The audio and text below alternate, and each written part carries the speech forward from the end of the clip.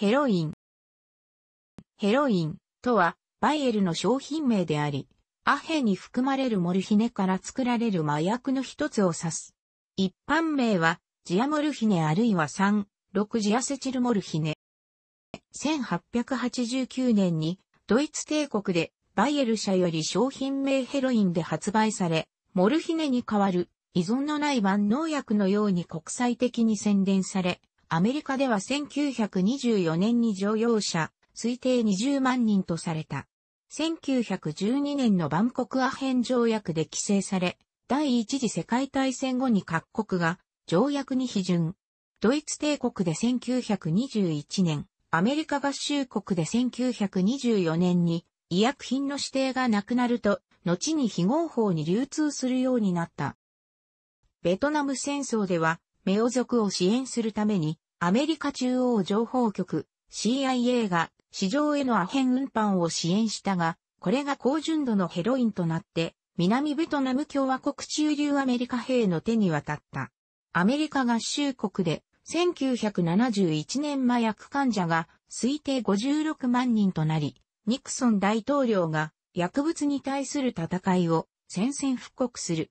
2000年代のアメリカでは処方薬の過剰摂取死が問題となっていたが、2012年には急増したヘロインによる死亡がトップとなった。日本国内では麻薬及び抗生新薬取締法によって、その製造、所持、使用は制限されている。専門家によって薬物の評価では、ヘロインは快感3点、精神的依存3点、身体依存3点といずれも最高の3点となっている唯一の薬物である。ロンドン、イギリスの聖マリア病院のライト、C、R ライトが1874年にジアセチルモルヒネを合成するものの、疲労感、眠気、恐れ、吐き気を起こし実験を中止した。1890年にドイツの科学者ダンクボルト W ダンクワートが別の合成法で同じ誘導体を合成し、その性質についてエルバーツェルト色素製造工場、薬理研究所のドレ、ザー、H ドレザーが見出した。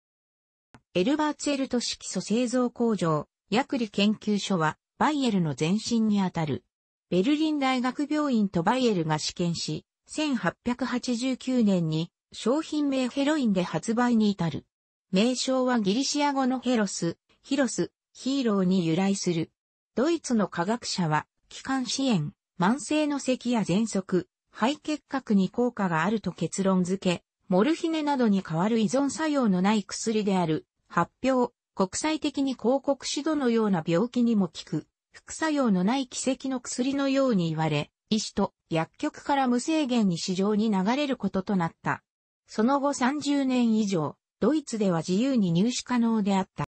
中国では1906年に清政府がアヘン一層を画策し、イギリス製アヘンが市場から根絶されるに至ったものの、単にモルヒネやヘロインへと移行しただけであった。中国では1920年代頃、ヘロインは当初モルヒネと同様にアヘン状用の治療になるものと信じられ、医療用ならモルヒネともに合法で輸入できフランス製のヘロインが、時に日本を経由して中国へ遅れ、常用が広がるにつれ密輸、闇市場が増大した。1912年のバンコクアヘン条約がドイツで1921年に批准されると麻薬に指定され回収された。アヘンやモルヒネの誘導体を規制する、この条約は、第一次世界大戦のため各国の条約の批准が延期された1924年にはアメリカでも医薬品として取り消された。アメリカではその年、乗用車は推定20万人と見積もられた。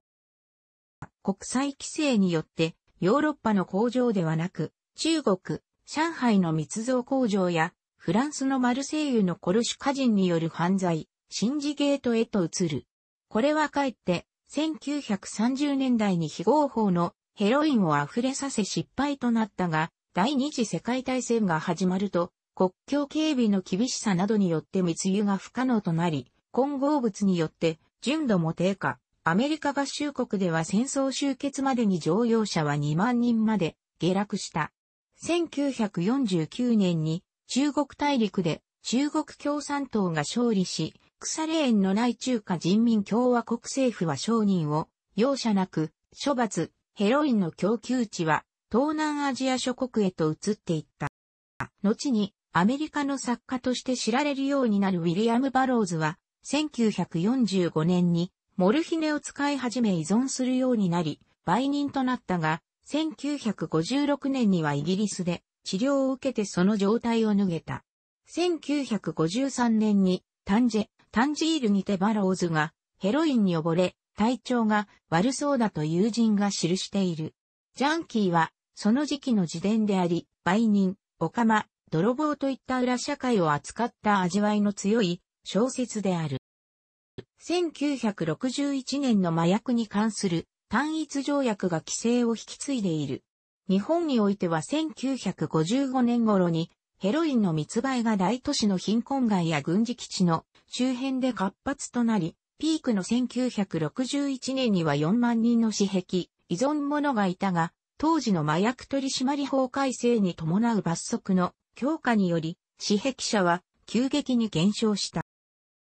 ベトナム戦争では、ラオス北東部で戦争を行っていたメオ族を支援するため、アメリカ中央情報局 CIA が市場へのアヘン運搬を支援し、1965年から1971年まで CIA の秘密の航空会社であったエアメリカが空輸した。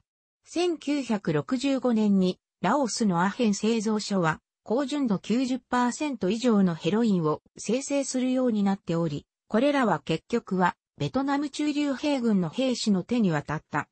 1968年に南ドイツで不法なヘロインが登場する。ベトナム戦争で負傷した兵は治療のために不運にも西ドイツに送られた。帰国したベトナム機関兵は密売を思いつく。アメリカで麻薬患者は白人社会に流行し、1969年末には推定31万5千人とされ、4年前の約5倍に膨れ上がり、1971年推定56万人となった頃同年6月にニクソン大統領が薬物に対する戦いを宣戦布告する。1970年代のイギリスパンクロックを描いた映画シドナンシーでは麻薬クリニックへ通院するシーンがあり、ヘロインの産地が黄金の三角地帯であり、アメリカの若者が戦争で死んでゆく中、中央情報局 CIA がそこへヘロインを運んでいたという逸話が語られる。1990年代でも黄金の三角地帯、黄金の三日月地帯で生産されるようになったアヘンからジャングルの中でモルヒネの分離を経てヘロインが製造される。1996年のイギリス映画トレインスポッティングでは、ヘロインの売人としての主人公が描かれた。アメリカでは、2000年以降では、ヘロインを乱用した者の75%が、処方薬のオピオイドによって乱用を開始していた。アメリカでの処方されたオピオイドによる過剰摂取死は2009年までの10年間4倍となり、将来のヘロインによる死亡につながるのではと懸念されているが、2009年までではヘロインでの死亡の増加は見られていない。しかし、2010年と2011年に薬物過剰摂取死の最多であったオキシコドンを2012年に急増したヘロインが上回った。ヘロインはモルヒネの持つ2つの水酸元を共に酢酸とのエステルにした分子である。これを合成するためには、モルヒネを無水酢酸で数時間煮る。ジアモルヒネは20世紀後半に合成され、アラモルヒネをアセチル化する。共造異性体は5種類になるが、天然に生じるのは一つである。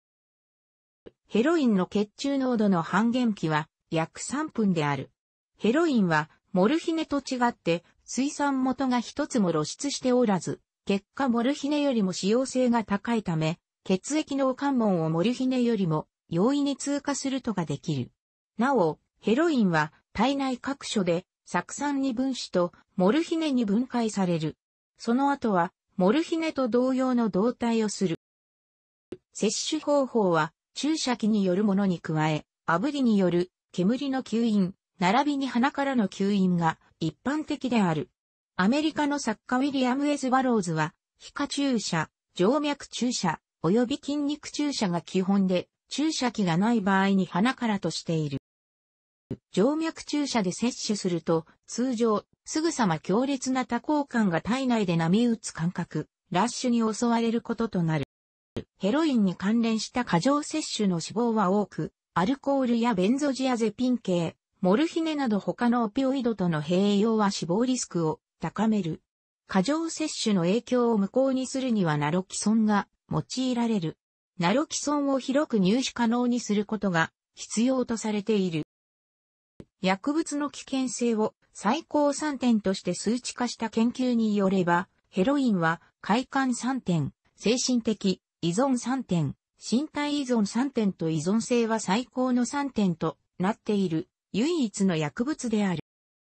ジョージスのバローズは1950年代にアメリカのヘロインは粉ミルクや砂糖などでどんどん売人が薄めるために望みもしないのに減量治療を受けさせられており、依存の治療を求めて来院した時には度合いが軽くなっており、結果としてごく短期間1週間ほどで完全に治ると記している。例えば、ベトナム戦争で出回ったものは、純度が90%以上のもであったが、アメリカに帰国した兵士らは2%から10%のものにしかありつけなかった。多量の長期のオピオイドを中止あるいは減量すると起こりやすいなど、痛みに対する感受性の増加から始まり、薬物を渇望して行動して落ち着きがなくなり、腰や足に痛みを感じるようになる。そして、不快な気分、吐き気や嘔吐、筋肉痛、涙や微老、賛動や、気毛や発汗、下痢、あくび、発熱、不眠といった症状が出現する。ヘロインでは、最後の摂取から6から24時間以内、離脱症状が生じ、1から3日でピークに達し、5から7日で警戒する。急性でない離脱症状として、不安、不快、無快感、不眠、薬物の渇望が数ヶ月にわたって続くこともある。遷延性離脱症候群。体中の関節に走る激痛、小風に撫でられただけで素肌に走る激痛、体温の調節機能の狂いにより生じる激所と、骨幹の体幹の数秒ごとの循環、体中に湧き上がる強烈な不快感と倦怠感などが上がられる。こうした一連の症状は、地獄そのもの以外の何でもないなどと表現される、苛烈なもので、この禁断症状を指して言うコールドターキー、コールドターキーというスラングが生まれた。このスラングは1969年に歌手のジョン・レノン、プラスティック・オノバンドが発表した楽曲コールドターキー、放題、冷たい七面鳥によって世界的に著名となった。レノンはこの曲を通して薬物の禁断症状の恐ろしさを世に知らしめようとしたつもりだったが、ドラッグソングと誤解を受け放送禁止にした放送局もあったという。1970年代以前の過去には、ヘロインなどモルヒネ型の薬物では、早期の離脱が最良の治療法と考えられていたが、1970年世界保健機関の委員会は、投与量の前言が効果的であるとの見解を示した。以前に離脱症状があるかを確認し、離脱を経験し薬物に依存している場合にだけ、離脱を管理する必要があり、メソドン維持療法、または他のオピオイド置換療法が考慮される。オピオイド作動薬のメサドンが従来用いられてきた。より有害性が低いメサドンに置換する治療法がある。メサドンは長時間作用するため、離脱症状が出現するまでに2から4日かかる。21世紀に入り、オピオイド部分作動薬のブプレノルフィンも用いられている。楽しくご覧になりましたら、購読と良いです。クリックしてください。